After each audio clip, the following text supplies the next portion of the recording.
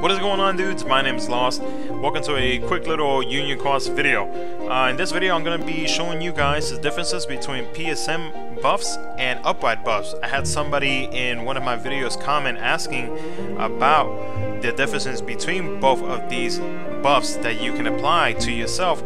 So in this video I decided to record two clips and I also am going to be posting the screenshots of my setups to pretty much have them as even as possible as I can. So hopefully this will help you guys out so to kind of give you an idea whether or not for any future potential medals if upright is better than PSM or the other way around. Anyways, enjoy the video.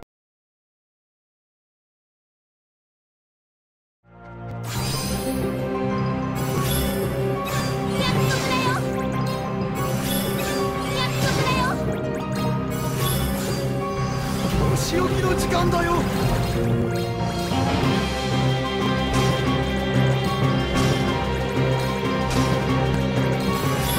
風に乗って遠くまでんでいく